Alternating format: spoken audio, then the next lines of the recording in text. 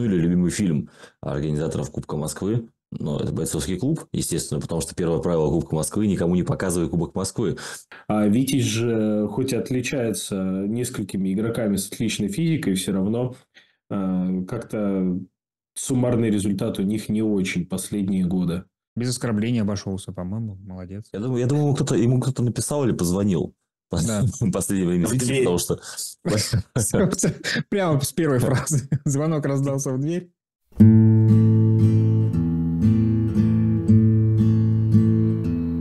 Last night I dreamed of darkness.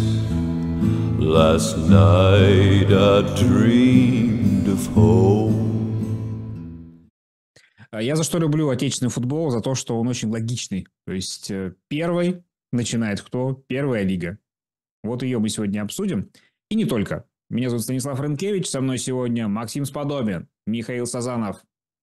И к нам присоединился Павел Пасенков. Это подкаст «Нелегальные, принимающие». Сезон начинается, друзья. Когда этот подкаст выйдет, матчи будут уже не за горами. А если я буду долго делать монтаж, то они даже пройдут. У нас... Ну, не за горами, это, безусловно, подходит вообще для старта, потому что первыми стартуют уральцы. И это, кстати, клево. Я очень тигры. люблю такую тему. Знаешь, э, единственное, что как бы, по идее, у нас футбол зародился на Урале, да, а, в Советском Союзе, но немножко в другой. То есть, если бы в Челябинской области был первый матч, это было бы вообще супер, потому что для тех, кто не знает, я напомню, что команда Озерский федерал. Ну, в Озерском они стали потом, когда это был Челябинск 65 город. Именно там колыбель американского футбола в Советском Союзе. Вот. И если бы там проводился какой, знаешь, как вот в футболе есть суперкубок, вот, у нас был, или там Hall of Fame game, да, в НФЛ. Вот если бы у нас там проводился какой-нибудь нулевой матч, это было бы вообще огонь. Но в, другую, в другие времена. Ну, да, давайте знаешь, для начала. Там, да, там да, можно, да. Было, можно было бы провести э, такой, ну, условный суперкубок, э, провести встречу победителей Суперлиги и Первой Лиги, то есть, кто там, Спартанцы, Спартанцы 2, да, вот такой вот легендарный матч могли бы провести там. Просто отправить их э, в Озерск на экскурсию. Действительно. Куда еще? Я думаю, что многие согласились бы отправить спартанцев, ну, хотя бы в Озерск, действительно, для начала. А там видно будет на автобусе. А, помимо первой лиги, у нас ведь немножко незаметно прошел один турнир, в котором участвовали интересные команды. Назывался он Кубок Москвы. Скрыт от всех. Никто не знает, кроме тех, кто там действительно был. На самом деле, это не то, что на трансляции не хотели разоряться, еще что-то. Просто решили применить тактику блэкаута из НФЛ взять. Вот если не будет э, аншлага на стадионе, то матч не показывают. Вот. К сожалению, аншлага, видимо, не было. Но мне сказали, что кто-то из вас там был и что-то видел. Кто там был и кого видел? Стас, отличный вопрос, кто там был действительно и кого видел. Вы, собираетесь, разве не собираетесь на Кубок Москвы? Собирались, да. А, и все на этом. Да. Хорошо, тогда давайте представим, каким он был. О, волшебно просто. Вот это особенно первый матч, в котором, по сути, решилась, Судьба решился турнира? вопрос да, с золотыми медалями. Как мощно прошлись московские спартаковцы по московским Capital Sharks. Вот чувствуется вся мощь по этим четырем цифрам 2, 7, 1, 5. Просто вот он весь, весь футбол на кончиках пальцев на самом деле чувствуется. Да, ну и все очки за обе команды там занес Михаил Барбарисов. Он в перерывах менял джерси. Угу. И, и вот наносил до хрена ярдов. Мне что-то там сказали, больше 200 а, в каждом составе, но не всегда с очками просто получалось. Вот Макс, а ты так статистику считаешь, да, иногда? Да. Тебе просто говорят, и ты вводишь, да, ну, там где-то 450 ярдов, 80 тачдаунов. На самом деле, когда э, как раз э, в финале первой лиги прошлого года накрылась трансляция из грозы, мне писали и драконы, и тигры, и говорили, да блин, мы там еще набегали дофига. Я, я там отвечаю, еще 70 да, да. да. У меня перехват был, несколько захватов еще, я думаю, так, ну ладно. Спасибо за Мне там легко можно в это поверить, что э, какого-то легкого игрока могло просто унести ветром с мячом. Это действительно на все поле. Да, какой-нибудь уральской молнией вот унесло внезапно. Да, вот я только хотел посмотреть наконец-то на игру Михаила Барбарисова, как вот такая незадача, кубок не был показан. Ну, давайте мы напомним хотя бы тем, кому интересен российский футбол, как там все. То есть мы узнали, хорошо, в первом матче встречались Спартак и Капитал Шаркс, и счет был 27-15. Да? Потом э, по разу эти команды сыграли с драконами. У кого Ну, получилось лучше? там, неважно там, неважно какой счет. Участвующие команды молодцы. Какие-то команды победили. Какие-то драконы проиграли, я так помню. Опустим, опустим это. Так уже не надо, уже опустили, уже все. Ну ладно. Это просто перебор. У нас э, два человека симпатизируют драконам в подкасте, это, конечно, многовато. Обычно можно один человек на одну команду. Так два драконам, два оружейникам. Это должно А быть кто как-то только стал за балансировать. Ага, ага, справедливо. Я Хорошо. судья. Мгм. Нейтралитет. вот Да, да здравствует наш суд. Очень жаль, что в честный. этом сезоне Нет. э, эти команды играют в разных лигах. Прикинь, если бы они, ну, типа, сошлись. Какой бы полыхало у нас в подкасте, а? Ну, ну, Стас, давай Да. будем честны, ну ни одного уровня команды. Ну, конечно, Вообще. одна 11 на 11, другая 9 на 9, Ну. конечно. У вас на два человека больше, как это можно? Да. Так, вот так стремительно мы обсудили Кубок Москвы. Очень интригующий турнир. Многие вопросы остались без ответов, прямо скажем. По, пов- по поводу трансляции, собственно, как раз главный вопрос. Э, Ты упомянул, возможно, серьезную причину, что команды не хотели трат- тратиться на трансляцию. Но, но был прекрасный опыт до этого э, съемки с рук, с бровки, э, чего-то такого. Паш, ты, по-моему, рассказывал, что ты как-то подрабатывал свадебным оператором или что такое. Команды могли действительно просто по- подумать, заплатить Пашу, не знаю, э, пару-тройку тысяч рублей. Паша бы спокойно стоял и снимал, да еще и комментировать мог сам. То есть это вообще просто мастер был бы на все руки, с бровки. Но только какой-то момент, если кто-то крикнул горько, то Паше пришлось бежать, снимать крупный план. И вот, наверное, возможно, поэтому команды все-таки отказались от такой потенциальной опции. Ну, я свадьбу-то не снимал, а зато, я знаешь, я думаю, что я знаю а, любимую книгу, ну, или любимый фильм организаторов Кубка Москвы. Ну, это бойцовский клуб, естественно, потому что первое правило Кубка Москвы – никому не показывай Кубок Москвы. То есть, она такое немножко виды, видоизмененное. Второе правило, в принципе, наверное, тоже никому не рассказывай про Кубок Москвы. Стас, получается, его нарушил. Мы вообще, в принципе, все нарушители. Поэтому предлагаю перестать о нем говорить, чтобы не нарушать правила дальше. Ну и, кстати, еще одно, с чем роднит э, бойцовский клуб, это то, что, видимо, драконы устраивали точно такой же поединок, как главный герой этого фильма, когда он дрался сам с собой. Да. Тогда давайте переходим к первой лиге. Первой лиге эм, все матчи стартуют в субботу. Такая солидарность среди клубов. Это приятно. В принципе, ты можешь сесть... э, Субботник вообще. Субботник, да. Весна подходит к концу. Где-то она начинается, вот, не знаю, в некоторых регионах нашей э, страны, а где-то она уже подходит к концу, и поэтому можно сесть а, к экрану в 11 часов утра по Москве, а выйти с монитора уже, ну, часов где-то полдевятого, так я понимаю. По-моему, в 18.00 у нас стартует последняя, и самая, может быть, интригующая игра. Но какая из них самая интригующая, это мы чуть попозже расскажем. Давайте, я решил так. Давайте мы сегодня составим коллективный Power Rankings первой лиги. Каким образом? Мы э, будет каждый из нас выбирать команду на строчку. То есть мы просто по ходу. Давайте вот типа, начнем э, с Паши, и Паша такой, типа, давайте, десятое место, у нас же 10, 10 да, по-моему. Надо на всякий, случай открыть. Я, конечно, Нет. уже успел выучить все команды. Десят, то есть я, то есть я должен назвать самую худшую команду, да? То есть э, ты понимаешь, мы не един- наз- единственная у нас команда. нет худших. У А. нас есть команда, которая есть дальше всех расти в этом турнире. Которая самая перспективная.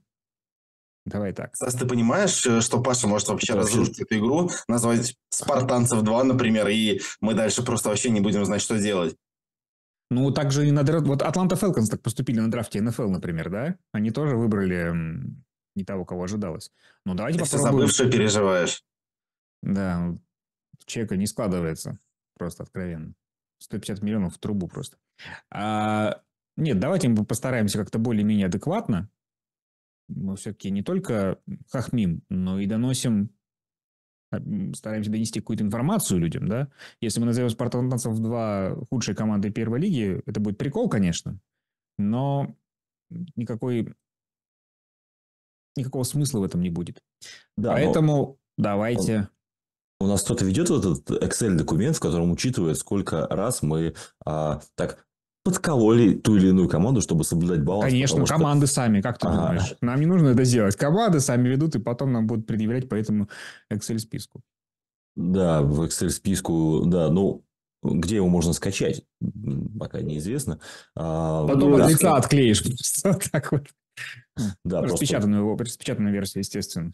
Просто представь, я, например, сейчас скажу Витязь, а Максим уже э, доль, этот, а, норму по Витязю вы- выполнил примерно сезона на три вперед э, в прошлом выпуске. Да, то есть, поэтому Витязь ни в коем случае нельзя называть на десятой строке, даже если бы вдруг и захотелось, но мне не хочется, например. А, надо называть команду в итоге, да? Давай, давай, да. Можешь назвать город. Могу, могу, смотри, я, получается, могу назвать фамилию, если, если выберу Сеченов, да, но я, пожалуй, все-таки назову киборгов, хотя Так. конкуренция была весьма большой, но, да, киборги, э, они заполонили всю планету, вот и, наконец-то, отсылки на Александра Леву в нашем подкасте, чего очень давно не было. А, это же вроде болельщики в комментариях, да, написали, что этого не хватает. Все, ребят, хорошо, только не, не было ц- цитаты Александра Левы. Вот, ну, в общем, а, киборгов мы не видели довольно давно, и, но киборги потеряли Алексея Гейтса. Насколько Алексей Гейтс э, серьезно влияет на силу команды, мы смогли в прошлом сезоне оценить, когда мы с Михаилом все-таки смогли вас убедить, что Алексей Григорьевич лучший тренер сезона. Да, вот поэтому без него, я думаю, что а, киборгам будет не просто себя проявить. Я думаю, что все-таки именно они окажутся на десятой строчке нашего рейтинга. А где теперь Алексей Гейтс? Кто знает? Это вопрос без э, подвоха. Никто не знает. И никто не знает, почему они э, расстались. Станислав, Станислав, вот, вот посмотри вот, вот сюда, вот, вот этот угол, вот на- намек тонкий очень. Да. Окей. Дра- Я на всякий случай просто проговорю, что у меня еще амплуа человека, который не все знает далеко в российском футболе. И это правда. Я не для того, чтобы типа, а давайте вот таким вот способом хитрым мы расскажем. Я, у меня плохо все держится в голове, и даже, по-моему, я где-то слышал, да, что Гейтс теперь в драконах, но теперь я в этом абсолютно убежден. Ну, Перекупили. например, когда ты делал графику э, лучший тренер сезона Алексей Гейтс «Драконы», могло такое произойти в прошлом году. Ты знаешь, дольше двух недель ничего не держится в этой голове. Ну, наверное, да, фамилец. М, Да, футбольная такая фамилия просто. А, ну теперь, слушай, вспоминая, вспоминая результаты киборгов при Гейтсе и то, что случилось с драконом на Кубке Москвы, теперь все складывается. Это просто тимбилдинг такой, как бы это... Ага, я понял. Хорошо, хорошо. Слушай, вот драконам повезло, их нет в первой лиге, а попадает, как будто они в Power Rankings есть. Отлично. Киборги Опнингск. И, по-моему, за Опнингс же до сих пор играет самый возрастной. Нет, э, побили же этот из Сеченова сейчас. Самый Его возрастной, побили? 50 57 лет. ну, Ну, рекорд по возрасту. Понятно. Ну, хоть какие-то рекорды у нас еще бьют в российском футболе. Хотя по возрасту участников. Отлично. Хотя мне больше нравится смотреть на средний возраст. Там что тоже там вот эти вот 33 плюс э, были, по-моему, как-то в молниях. Слушай, сред- средний возраст вообще такой в российском футболе интересный показатель, потому что там, знаешь, там условно приходит э, кто-нибудь э, и заявляет своего внука в команду, да, такое бывает, у тебя получается примерно они средний возраст дают нормальный, то есть там сколько там, 50 или 15, вообще ни разу нет. Ладно, математика, а, да, будем, да, ну... Есть давно ты думал о очень, внуках? очень, очень большой, большой разброс. Вот. Ну, шансы есть на самом деле, да. Шансы на внуков э, в российском футболе, когда у нас будет, а, не знаю, Корнев третий, а не только старший и младший. Да, почему бы и нет? Э, Корнев может доиграть старший до того возраста, как, какой возраст у рекордсмена сейчас, да, в чемпионате. Вот, ну, а младший уже способен. Я, я еще, знаешь, что сейчас подумал? Вот Стас а, меня поставил называть команду, которая на десятом, на десятом месте. Возможно, дело даже не в этом. Возможно, он заранее просчитал. а, и чтобы момент, когда придется выбирать между оружейниками и тиграми, пришелся либо на него, либо на Максима, чтобы хоть где-то, хоть когда-то оружейники оказались выше тигров. Вот специально. Вот, знаешь, как в детской, в детстве, в детской считалке, когда ты, про- когда ты просчитываешь, что надо назвать четное или нечетное количество, чтобы Мгм. ладошкой так хлопнуть. Он такой, ага, о, так а я буду, на втор... я буду называть третье место, я назову тигров. А тогда, ну, примерно вот так. Ладно. То есть, мало того, что ты подколол оружейников, ты еще и мне комплимент сделал, что я способен на такие вычисления в голове вообще, в принципе. Паша, молодец. Так, ну давайте, хорошо. Двинемся мы из Обнинска куда-нибудь. Михаил, куда мы двинемся? Кто у нас будет на девятом месте? Ну и вот теперь как раз та самая черта, действительно, между Москвой и Подольском, которая разделяет меня тоже в этом выборе, между Сеченов Феникс и Подольским Витязем. Москва, ну, она больше, в ней труднее найти кого-то. Наверное, поэтому я поставлю Сеченов Феникс на девятую строчку Power Rankings. Что ты можешь по них сказать? Что я комментирую их матч в эту субботу. А, Поэтому, поэтому в эту субботу мне будет что сказать. мгм. Пока нет. То есть, не, в субботу, теперь в субботу будет не только что тебе сказать, но и им тебе тоже. Понимаешь? Да. Слушай, ну вот смотри, и здесь, я возвращаюсь к э, тонким расчетам, Михаил отдает элегантную передачу Максиму Сподобину, которому теперь придется говорить про Подольский Витязь. Я еще Ну. могу его спасти, но, конечно, не буду. Поэтому, Максим, давай, кто на восьмом месте? Подольский Витязь месте. Вот это ничего себе. Максим, можно положительнее по отношению к ты, у тебя какая-то личная антипатия к этой команде? Почему каждый, каждый, каждый подкаст ты к ним цепляешься? Сами подставили. Теперь.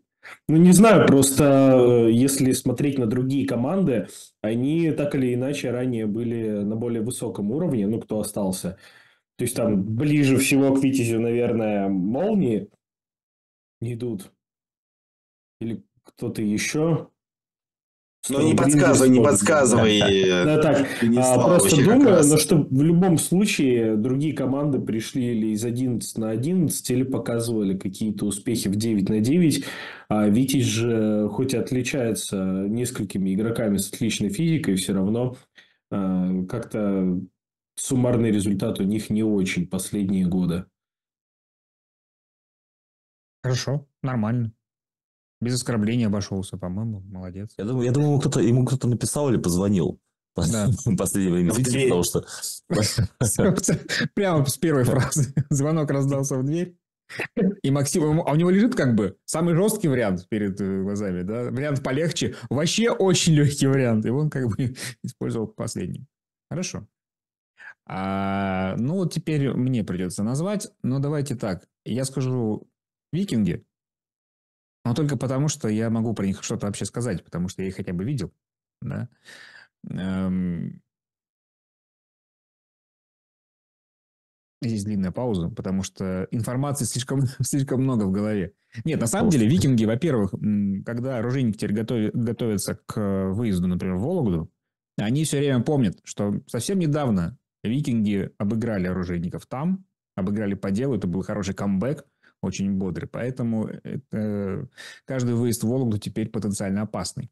Вот. а, Но как я написал в превью, которое только что вышло, конечно, последние сезоны кадрово потрепали викингов, и мне кажется, что если бы у них вот все были здоровы, это, во-первых, хороший тост, а во-вторых, э, вот если бы викинги могли им исследовать, то они, конечно, представили бы более серьезную угрозу. А так вопрос даже не в том, что есть люди, которые не могут им помочь на поле в оптимальной форме, а в том, что пришлось многие вещи как-то пересматривать, там, ротировать состав кутербеков, а это всегда для любой команды э, тяжело.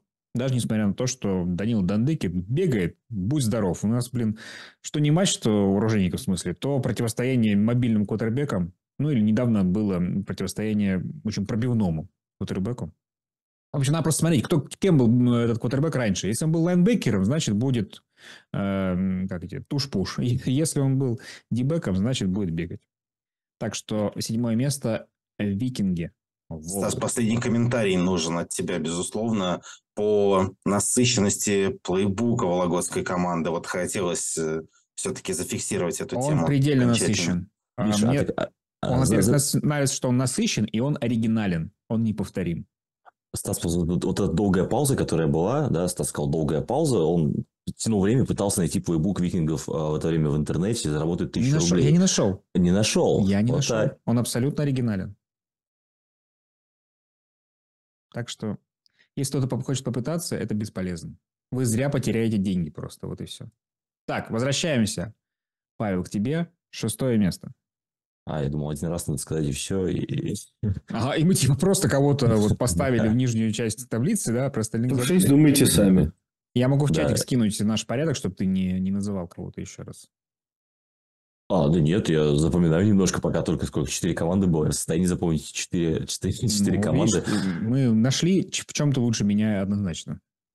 Отлично. А, ну, у нас довольно маленький выбор остается. и Я вот так, оглянув взгляд, ну, окинув взглядом таблицу, назвал бы тогда уральских молний.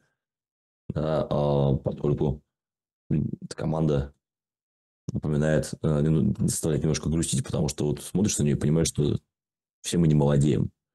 Да, и вот э, как-то как-то молнии за ним, конечно, интересно смотреть сезон за сезоном, но пока команда скорее, к сожалению, не прогрессирует, а так потихонечку, потихонечку, как минимум. Ладно, все, нет, все, хорошо. Не. Ну, в общем, в общем, да, в общем, команды, которые остались, мне кажется, они молнии посильнее, и... А, сейчас, но молнии могут нас приятно удивить. Вот, я вспомнил, как надо говорить, чтобы, чтобы, точно, чтобы точно прозвучать корректно. Ну, корректности нам точно нужно поучиться у наших м, коллег. Но мы здесь не за этим совершенно. Посмотрим, как сыграют молнии. А, футбол игра да. непредсказуемая. Мяч круглый, поле ровное. Нет по обоим пунктам, но в принципе все возможно. Хорошо. Пятое место. Михаил. Ну, тут сложно, Пятое конечно. место. Михаил. Спасибо. В нашем Power Rankings. В целом неплохо. Сейчас достаточно сложная задача, потому что претенденты на четвертое и пятое место в нашем Power Rankings любому любителю американского футбола в России очевидны.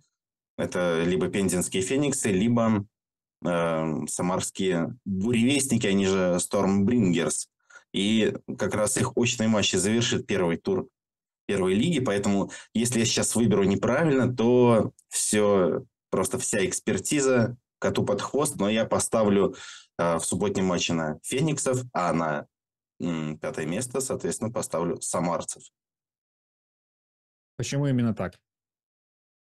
Ну, Фениксы э, в том году меня впечатлили. То есть, несмотря на то, что Самара вышла в плей-офф, а Фениксы нет. Фениксы были в группе все-таки со спартанцами 2 и Capital Sharks. И Capital Sharks даже умудрились э, на поле Таганского парка обыграть в невероятном матче, про который мы говорили в предыдущих сериях.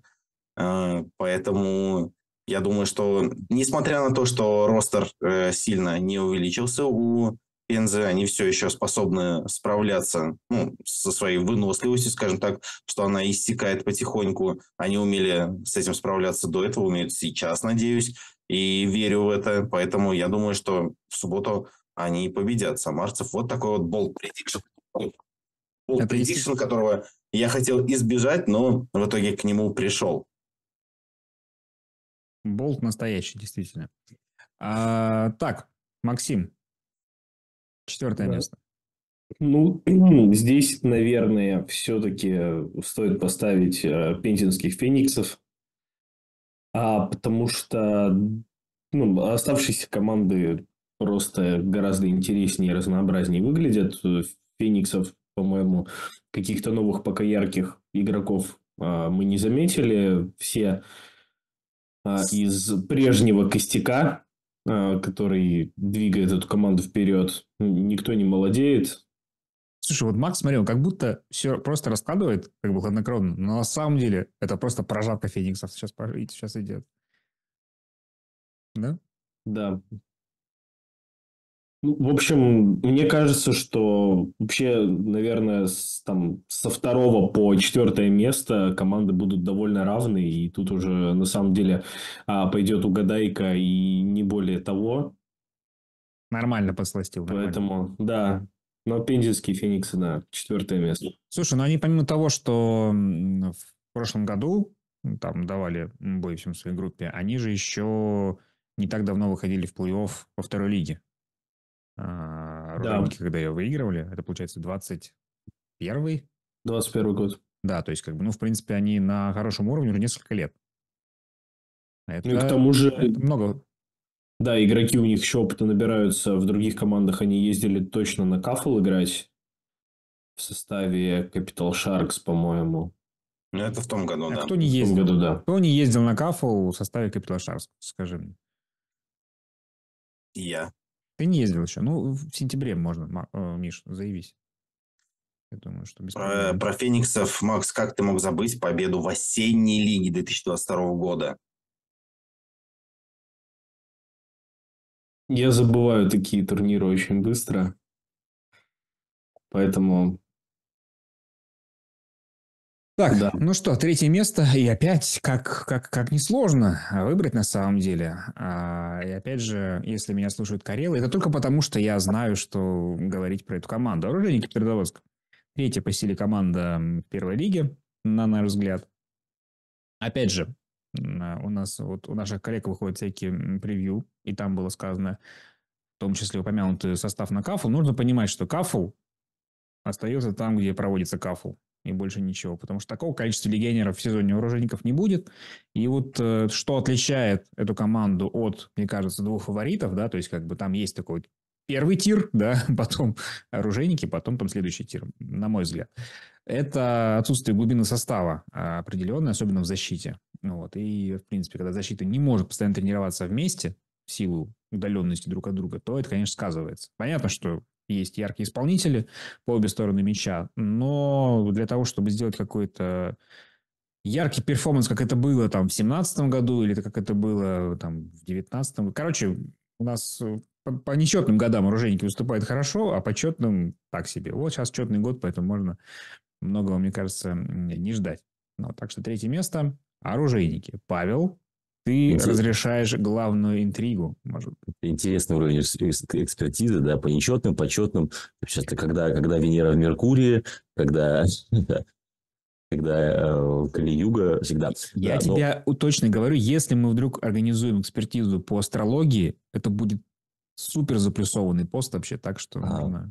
Стас, да. твоя теория еще может сломаться, если это вот так считать, как месяца, то две костяшки а. подряд, и получается, ты зря не поверишь в земляков. Слушай, ну вообще есть идея для топового контента. Станислав Рынкевич раскладывает uh, Таро на, на новый сезон.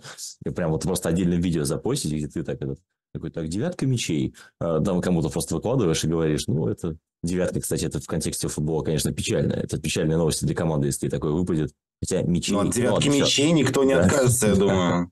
Ну, или я считаю года по руке не очень опытного фазировщика, да, то есть как бы там тоже будет очень много интриг тогда в таком случае.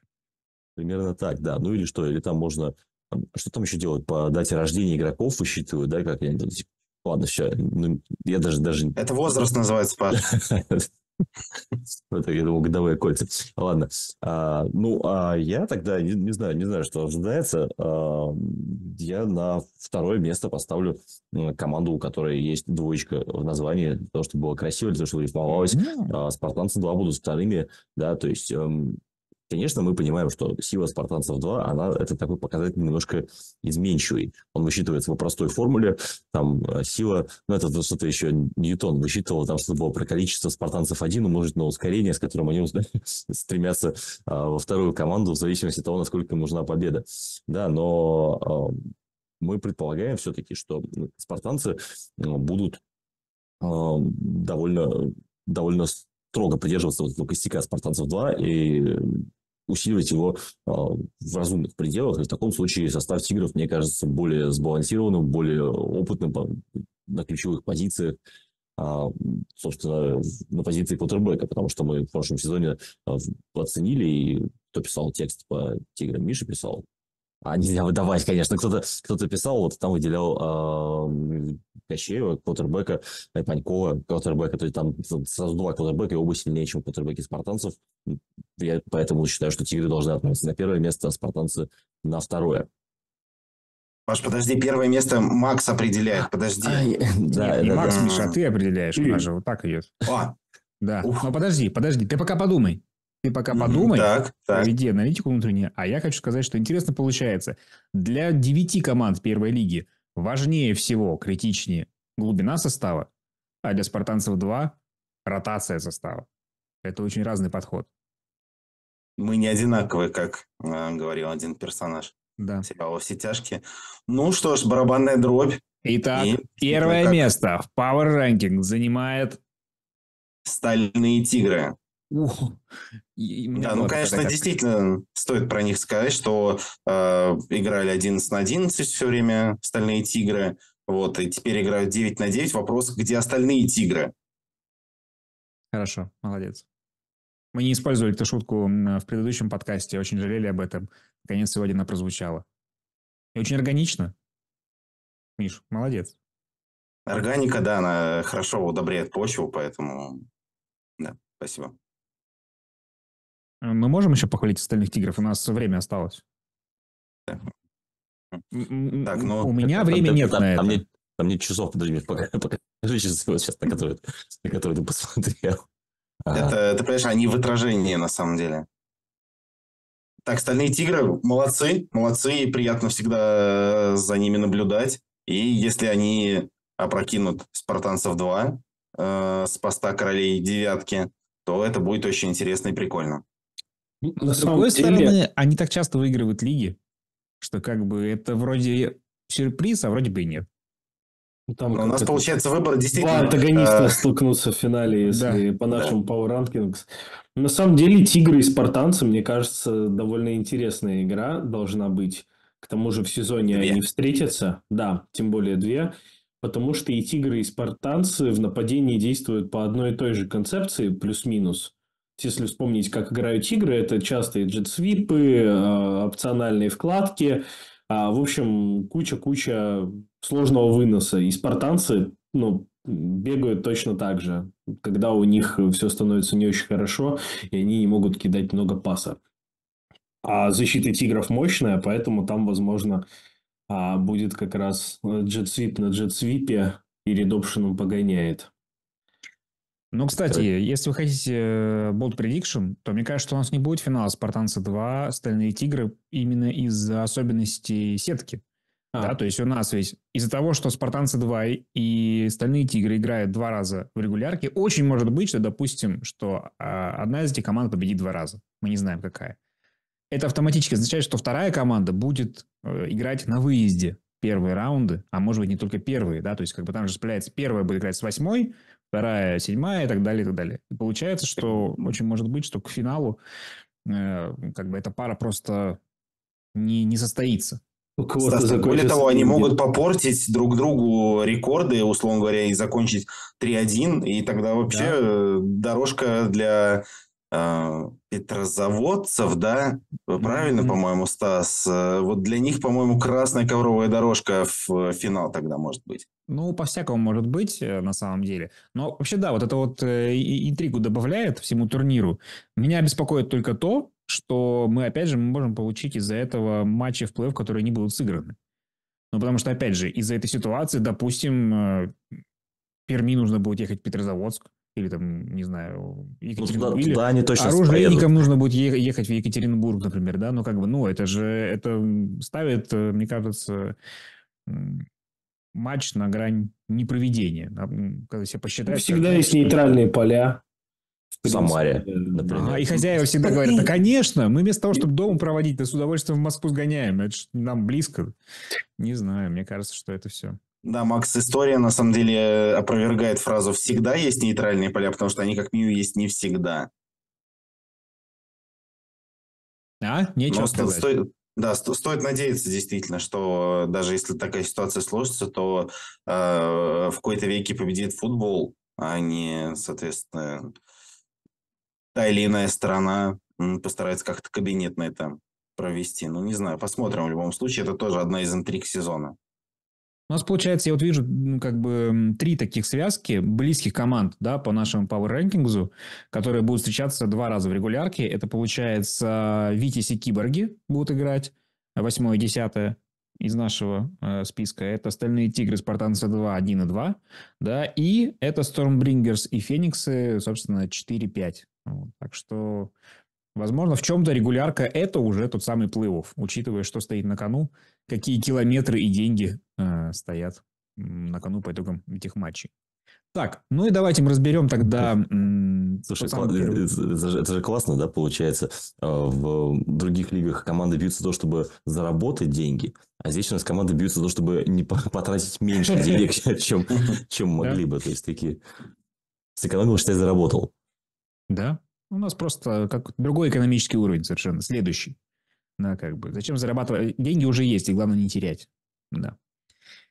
Итак, первый тур первой лиги. Уже в эту субботу пять матчей. И теперь э, давайте так. У нас будет драфт. Вот какой матч из всех вы посмотрели бы с наибольшим удовольствием? И поскольку Миша заканчивал нас по рейдингам, я начинаю. У меня самая легкая задача. Я бы, конечно, из всех матчей посмотрел Феникс и Stormbringers с большим интересом, потому что именно они у нас располагаются рядом в списке. Тут совершенно сложнее всего предсказать победителя, да, а, и даже, по-моему, коллеги наши не стали делать фору, а просто типа определяешь P1 или P2. Вот. Ну и, в принципе, я не так часто следил, мне было бы интересно посмотреть на обе команды с стилистической точки зрения. Так что не уверен, что получится, но если бы в идеальном мире я посмотрел бы именно эту игру из всего первого тура. Максим, твой выбор следующий.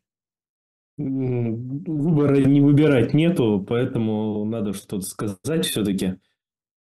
Макс, бери Витязь. Да. Витязь, бери. Я, наверное, возьму все-таки эм, как статистика, как человек, которому надо разбирать игры, я бы взял Спартанцы 2 Киборги, потому что тут самый а, более вероятный Мерси Клок, и это просто побыстрее закончится. Слушай, вот прямо главный хейтер российского футбола мы подобрали, да? Причем мы как бы вот вроде шутим-шутим, а потом Макс как даст болт на все. И, но он ведь, он ведь пользуется своей безнаказанностью. Никто его не может побить, потому что веком статистику будет собирать. Молодец. Потому что он из дома не выходит обычно. Это вторая причина. Это причина номер два. Первая в том, что остаться без статистики. Но есть опасность, что Макс может добавить, э, как один из переводчиков правил американского футбола, что в российском футболе Мерси Клок стартует с самого начала матча, чтобы все вот это вот побыстрее закончилось. Ну, сейчас, кстати, а, нововведение, по-моему, или я как-то это упускал ранее, а, что теперь Мерси Клок заканчивается не тогда, когда у нас а, разница меньше 35 очков, когда разница меньше 24 очков. То есть, если отыгрывающаяся команда заносит тачдаун при Мерси Клоке, он все еще идет. У, это прикольно. Да, Почему? теперь а, разница 24 а Теперь очка. нужно реальный камбэк просто. Макс, а... это, это правда или ты придумал просто Не, сейчас? реально, я, я на тестировании на судейском на это как раз напоролся. Такой, просто на кафле было тоже пару моментов, когда судьи импровизировали. Не, не.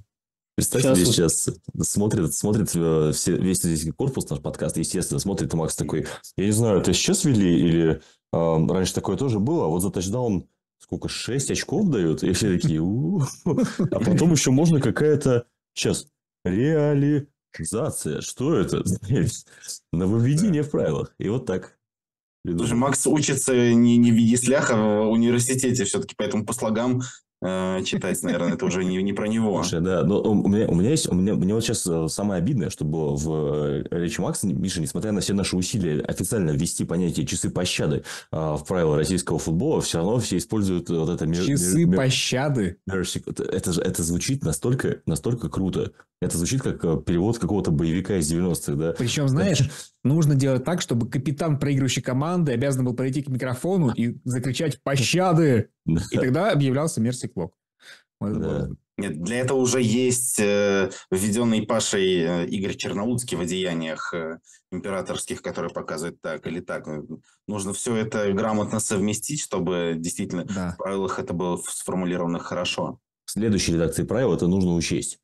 Обязательно. Ну, он, Макс конспектирует, видишь, зависит. А, я думал, он пишет сейчас. Я, я пересчитываю правила. А, то, да не надо, господи, кто этого не делает? Макс, про 6 очков точно было там такое, про тачдаун это есть. Там где-то в начале, по-моему. Паш, тебе хотя бы на Сбер упало что-нибудь после предыдущего подкаста, где ты Черноудского славил? Нет? Нет, Все еще приходится... Ты зарплату не на Сбер получаешь все-таки. Даже приглашение на Кубок Москвы мне не пришло. Да, оно никому не пришло. Спам, видимо, всем упало. Так, ну ладно, Макс выбрал. А, Паша, давай твой выбор. Засада. Так, а, ну, я Мише оставлю право забрать матч, который он комментирует, потому, потому что будет совсем некрасиво. Я назову матч ставления Тигры уральские молнии. Это все-таки классика в каком-то смысле российского футбола. И э, довольно часто эти матчи, даже когда команды не совсем э, близко друг к другу находились на строчках Power Rankings, как в том числе, как, например, сейчас, да, так бывало раньше, все равно эти игры часто бывали э, интересными. Все-таки это знаковое противостояние, и я думаю, что если там поднимать историю встреч, то она будет ну, этих команд самой богатой из всего первого тура. Да, Но это еще, получается, история такой вынесенный матч, да? Это практически э, Thursday Night Football в программе субботней, э, субботнего футбола. Ну, в принципе, получается, да. Только у нас четверговые матчи же в НФЛ обычно не очень получались, да, в последние пару сезонов. Ну, скорее лондонский матч тогда получается, как раз другой часовой пояс. Да, да. И, в принципе, как бы, да, приятно. Еще не пообедал, а футбол уже посмотрел. Мне кажется, это всегда Хорошо. А, Михаил? Паша, конечно, мог по-другому завернуть, потому что сейчас получается как-то слишком себелюбиво. Вот. Но и выбрать матч э, в Подольске тоже как-то язык не поворачивается. Поэтому, друзья, конечно же, матч вологодских викингов против Сеченов Феникс с моим комментарием. Собственно, всех приглашаю на трансляцию предпочтить этот матч всем остальным, несмотря на то, что э, называли коллеги до этого. К тому же Макс э, выбрал не сердцем, э, а исключительно своим таким корыстным интересом, чтобы сэкономить время. Поэтому, друзья, включайте трансляцию. Ждет много интересного, я более чем уверен в этом, потому что действительно, как мы отмечали у Вологжан, несколько упал уровень, уровень команды, как минимум на двоих игроков. А, и в целом а, с линией нападения тоже произошла перестройка в этом межсезонье. В общем, а, их может ожидать тяжелый сезон, но при этом лидеры на месте, то есть тянуть команду есть кому, и это должно быть интересно. Ну, а Феникс э, тоже достаточно загадочно провели межсезонье. Ушли несколько лидеров. Несколько лидеров пришли. Например, Ревжон Маткулов пополнил состав э, Сеченов Феникс. Поэтому будет любопытно понаблюдать. Старый бродяга Маматкулов. Где он только не был. Так вообще, да, э, Маматкулов-то в, в прошлом сезоне отметился сразу двумя впечатляющими розыгрышами. Один э, принес победу э, в вашей команде, Максим и Станислав, э, в финале Кафла. Э, собственно, и э, Ревжон был первым, кто занес очки спартанцам э, за брянский «Спартак», то есть э, спартанцы были сухими, и Ревжон вернул э, сбитую реализацию одноочковую, то есть э, отметился вот таким ярким действием. Так что, может быть, и в субботу от него стоит ожидать тоже чего-то очень крутого. Вот, э, может быть, есть алды в чате. В игре Fallout 2 можем взять такую перку, как там таинственный странник. И когда ты случайно встречаешься в пустыне с непонятными людьми, на твоей стороне выступает этот самый таинственный странник. Вот, мне кажется, это и есть Ревжан Маматкулов. Так, в принципе, и переводится его имя и фамилия, на самом деле, с греческого. А, я удивлен, что остался, блин, матч в Подольске последним, который никто не хочет почему-то смотреть. Вам придется. Это, да. ну, я на самом деле... Вот это тот самый посмотрит. матч, который я точно посмотрю, да, по понятным причинам. Вот. Ну, во-первых, для того, чтобы понять, эм, какие люди начнут охоту за Максом с подобием раньше всех остальных. Вот. Ну и, конечно, потому что Карелы играет на выезде. Ну, я почему удивлен? Потому что, ну, мне кажется, что может быть интрига запросто. Да. Я, Слушай, ну... я уже понял, что я немножко оцениваю видеть выше, чем вы все, как я бросил под автобус. Эм, но, блин, оружейники, во-первых, нужно, чтобы они доехали. Это выездной матч. Это всегда интрига. Вот. Хотя они поют на этот раз не на автобусе, а на поезде. Это читерство. Вот так э, интрига вокруг матча гораздо меньше. Но, тем не менее, будет интересно посмотреть. Вот, э, выезды э, в московский регион – это всегда для оружейников самая большая трудность. Слушай, ну у этого матча есть очевидный плюс. Игра состоится в Подольске, поэтому скорая помощь точно приедет на стадион вовремя. А почему? Ну, это отсылка на то, что у вас приехала скорая помощь. Это я понял, а почему она в Подольске а, приезжает? А, а, а чего ты докопался? Подожди. А, вот. Надо сказать, потому что, потому что в Петрозаводск она ехала из Подольска в прошлый раз, потому что мы там заказывали, а тут она уже будет свободна.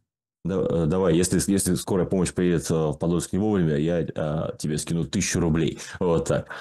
Или как-то как принято сейчас? Ты нашел плейбук в интернете? Да, да. Откуда у тебя тысяча рублей? Извините, Ему даже на сейчас... Сбер ничего не падало. Подожди, а может, кстати, вот Макс, Макс сейчас, да, чем занимался, думаешь? Он такой, я посмотрю там правила, типа, сейчас надо посмотреть правила. Я сам искал плейбук, просто он так долго там завис. Макс, может, ты нашел плейбук викингов? Я в соцсетях видел, когда идешь в наушниках, тебя спрашивают, ты сейчас что слушаешь? Ну, плейбук викингов просто, вот и все. В аудиоформате. Легче запоминается просто. Стас, это называется плейлист. Плейлист? Блин. Да. Ну, а есть у вас, может быть, название какое-то там, типа часов пощады, но только для плейлиста, чтобы было понятно? Список розыгрышей. Вы не, не пытались продать такую идею? Ну, это звучит не как название боевика из 90-х, понимаешь? То есть у часов пощады... Список розыгрышей? С Николасом Кейджем не смотрел, что ли? Это, это, это звучит как комедия с Адамом Сэндлером какая-то. Список розыгрышей. А вот Брюс Уиллис в часах пощады, и все. И... Нет, нет, нет. Ну ладно, в общем, будет что вам посмотреть э, в эту субботу и о чем порассуждать через неделю. Хотя на следующей неделе, конечно, будет сложно записываться, но мы постараемся. Мы постараемся. Если мы вдруг не выйдем на следующей неделе, не пугайтесь. Это просто потому, что э, команды обиделись на нас и избили. Вот. И мы будем следующие стримы вести из больницы. Ну а пока для вас первую неделю первой лиги разогревали Максим Сподобин, Михаил Сазанов, Павел Пасенков и я, Станислав Ренкевич. Счастливо, пока. Отталкиваешь и к себе. Зет! Давай, Марат! Давай! Давай!